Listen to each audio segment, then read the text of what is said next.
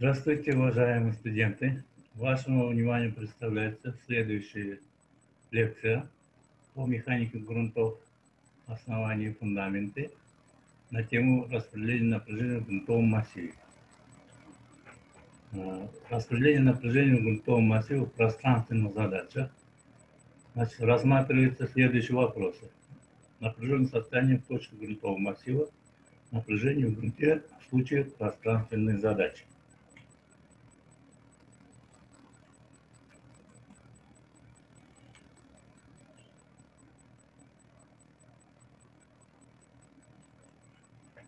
Для определения напряжения в грунтах в механике грунтов используется теория линейно деформированных тел, которая основана на уравнениях теории упругости. Уравнения теории упругости могут быть применены к грунтам с определенными ограничениями. Закон Гука в общем случае не применим, так как в грунтах возникает значительно остаточная деформация. Линейная связь справедлива между напряжениями и общими деформациями в определенных пределах. Уравнение теории упругости справедливо лишь для массива грунта, в котором отсутствуют области предельного равновесия. Решение теории линейно деформированных тел можно использовать только при однократном нагружении основания. Решение теории линейного деформированных тел отвечает начальному и конечному статическим состояниям грунта и определяет полное напряжение в скелете грунта от действия внешних сил. Напряженное состояние в точке грунтового массива – Мерой количественной оценки напряжения дифферентного состояния массива грунта является напряжение деформации и перемещения, возникающие от действия внешних нагрузок и внутренних сил. Напряжение деформированное состояние в точке грунтового массива определяется нормальными напряжениями сигма x, сигма y, сигма z и касательными напряжениями tau x, y, tau y, z и tau z x линейными эпсилон x, эпсилон y, z и угловыми деформациями гамма xy, гамма yz и гамма xz и перемещениями u, v, w. Механик грунтов. Сжимающее напряжение принимается со знаком плюс. Составляющие напряжение в элементарном объеме грунта представлены на рисунке 3.1. Вот составляющие напряжение в элементарном объеме грунта. Вот на боковых гранях показаны направления вот нормальных напряжений сигма x, сигма z и сигма y. Вот оно. И вот тау x, y, тау z, x. Здесь тау x, z, тау y, x, y. Здесь тау y, z, тау y, x. Это направление нормальных и касательных напряжений. И направление координат. Так как э, от поверхности Земли массив грунта находится внизу, то если расположить на поверхности э, систему координат, получается, э, значит, ось X направлена э, вниз вертикально, и значит, по поверхности, по плоскости направлены ось Y и ось X.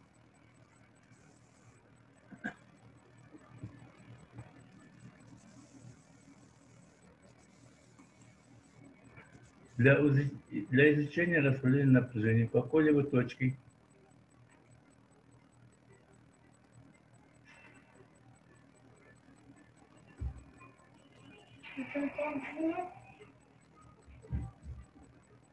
Для изучения распределения напряжения какой-либо точки внутри грунтового массива обычно выделяет у той точки трехгранную призму и рассматривает условия равновесия. Эта призма должна иметь малые поперечные размеры по сравнению с размерами массива грунта, чтобы ее можно было считать бесконечно малой и рассматривать напряжение точки. С другой стороны, эти размеры должны быть достаточно большими по сравнению с размерами отдельных грунта, чтобы можно было применять теорию напряжения. По боковым граням выделенной призмы будут действовать нормальные касательные напряжения. Величина этих напряжений будет изменяться при изменении положения боковых граней призмы. Как известно из курса сопротивления материалов, в каждой точке существует две такие взаимно перпендикулярные площадки, в которых касательное напряжение равны нулю. Эти площадки называются главными площадками, а действующие в них нормальное напряжение – главным напряжением. Сигма 1 больше сигма 2 больше сигма 3. Если грани А, В и Б, С, образующие в рассматриваемой призме прямой угол, ориентировать по направлению главных площадок, то к ним будут приложены главные напряжения сигма-1, сигма-3. А касательные напряжения будут отсутствовать. Вот распределение напряжения по граням элементарной трехгранной призмы. Вот трехгранная призма, если вот э, с одного бока, то есть по катету идет сигма-3, по одному, по вашему сигма-1. И по гипотенузе находится тау.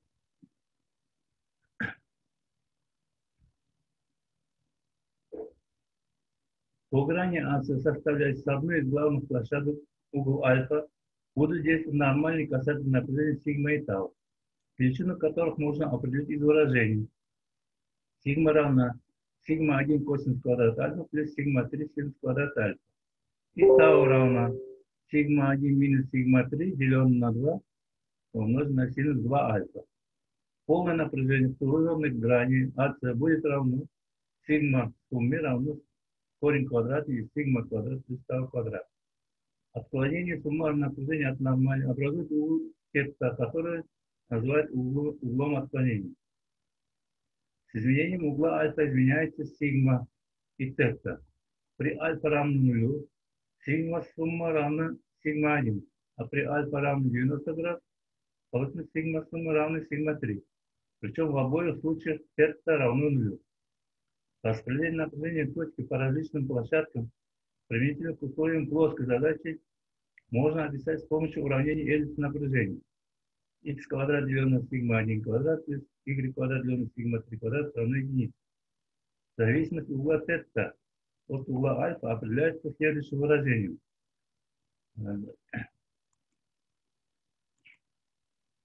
Тангенс θ равно тау деленное сигма.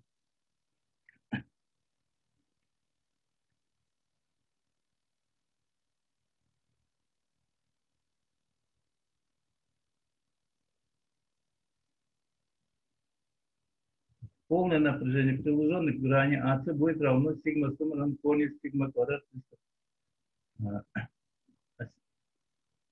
Тангенс это равно сигма, тау деленное на сигма равно сколько? Сигма 1 минус сигма 3 умножить на тангенс альфа. Деленное на сигма 1 плюс сигма 3 умножить на тангенс квадрат альфа.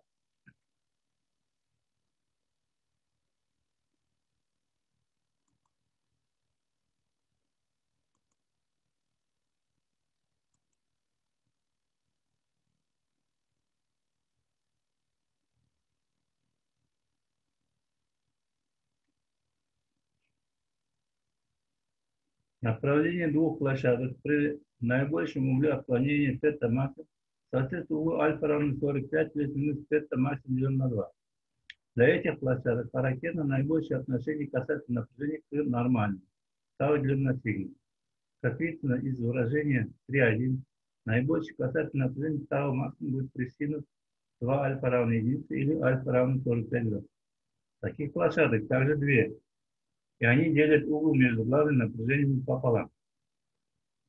Напряжение в грунте в случае пространственной задачи. Определение напряжения от действия вертикальной сосредоточенной силы, приложенной к поверхности линейной дифференциального пространства. Это задача Бусинецка. Пусть в точке О на горизонтальной плоскости является поверхностью линейной дифференциального полупространства, растирающегося бесконечность ниже этой плоскости, приложенной вертикальной сосредоточенной силой.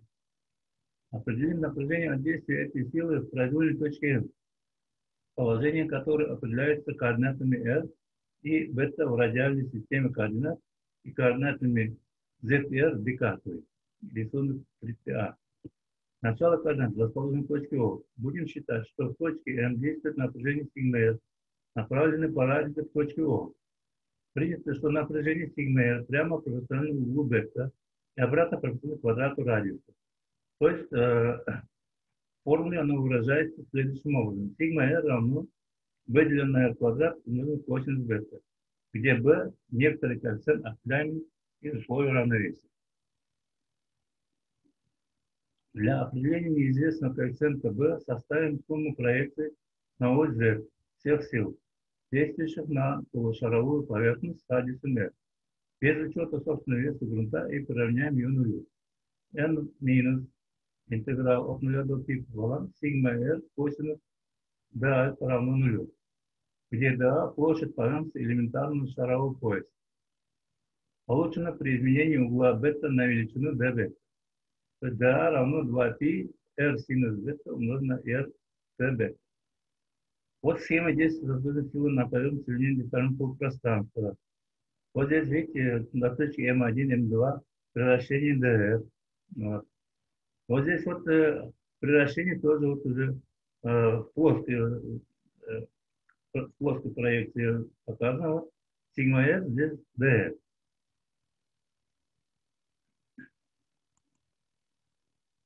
А, значит, это положение точки М в полупространстве.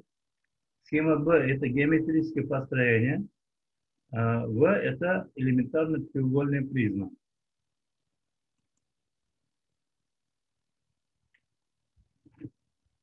Проинтегрируя выражение 36, получим значение коэффициента b равно 2π деленное на 3n. Отсюда найдем выражение для напряжения. Сигма r равно 3n деленное на 2π r квадрат косинус b. Напряжение сигма r действует на площадку площади d перпендикулярную радиусу. Чтобы найти напряжение, действующее на площадке, параллельно ограничивающей плоскости, от радиальных координат перейти к Декарту, Рассмотрим равновесие элементарной треугольной призмы. Составим уравнение проекции всех сил на вертикальную ось. Сигма x умножить на косинус бета на минус сигма z умножить на d деленное на косинус бета равно нулю. Отсюда сигма z равно сигма r косинус квадрат бета. Или с учетом формулы 3,9 сигма z равно 3n деленное на 2π r квадрат косинус куб бета. Так как косинус бета равно z деленное r, можно записать сигма z равно 3n деленное на 2π, можно z в кубе деленное на r в пятой степени.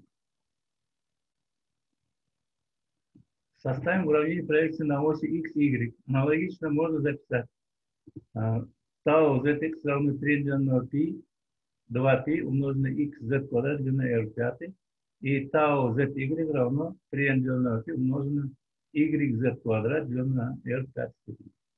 Получено также выражение для перемещения ограничивающей поверхности. Омега Z равно n деленное на π CR, где C равно E деленное на единицу минус ню квадрат. Коэффициент линейно деформируемого полупространства. Здесь E модуль деформации, ню коэффициент Платона. Учитывая, что R равно корень Z квадрат плюс R квадрат, вынесем z из-под корня и выразим сигма z Декартов координат. Сигма z равно будет zn деленное на 2π умноженное на единицу деленное z квадрат в квадратной скобке единица плюс r деленное на z в квадрате. Все это в степени 5 деленное на 2.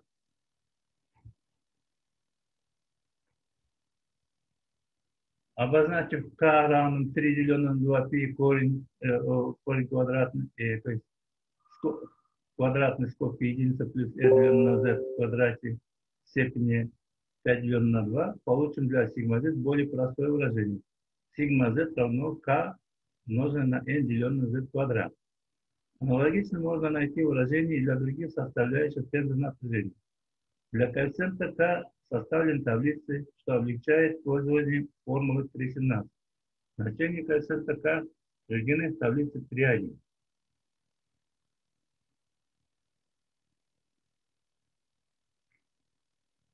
Вот здесь приведено значение коэффициента k в зависимости от э, r деленное на z, k равно чему. Если r деленное на z, то есть в начале координат, k равно 0,4775. И вот отношение идет по 5 сотых э, и до значений 2, до значений отношения r деленное на z до 5. Вот. Э, значение k с увеличением отношения r деленное на z, э, значение k уменьшается. То есть они связаны между собой обратно пропорционально. Проанализируем распределение напряжения сигма z в полупространстве. Для этого построим икуру распределения сигма z в зависимости от координат z и r. На рисунке 3.4 а видно, что при z равно нулю, вот она, при z равно нулю, значит, напряжение сигма Z стремится к бесконечности. Вот она в правую сторону идет, вот она туда, налево, направо, она идет бесконечность. Стремится, а, а при Z стремящемся бесконечности, а вот он Z стремящийся бесконечности, а, сигма Z стремится к нулю. Вот. Так как бесконечно больших напряжений в грунте быть не может, некоторые области заштрихованы на рисунке 3-4. Вот она заштрихованная область. Вот. Следует исключить из рассмотрения. Напряжение в точке приложения силы не могут быть описаны уравнениями Гусинец. И при распределении сжимающих напряжений сигма Z а, и линии равных напряжений Э, Б. Полупространство при действии сосредоточенной силы. Рассмотрев распределение напряжения сигма Z плоскости, находящейся на глубине Z поверхности, увидим, что на линии действия силы при R равно нулю напряжение сигма Z имеет максимальное значение, а при R стремящем бесконечно напряжение сигма Z стремится к нулю. Если соединить точки, в которых напряжение одинаковое, получим линии равных сжимающих напряжений, изобары, которые в случае действия одиночной вертикальной силы имеют форму луковицы. Если на поверхности полупространства действует несколько сосредоточенных сил, то напряжение в любой точке можно определить как сумму напряжения от отдельных сил, используя принцип суперпозиции. То есть сигма z равна k1 на n1 делено на z квадрат, то есть k2 n2 делено на z квадрат, и так далее равно сумма единицы деленной на z квадрат, сумма и от 1 до n k умноженное на n. Коэффициенты k определяются по таблице P1 в зависимости от соотношений tau и z для каждой силы.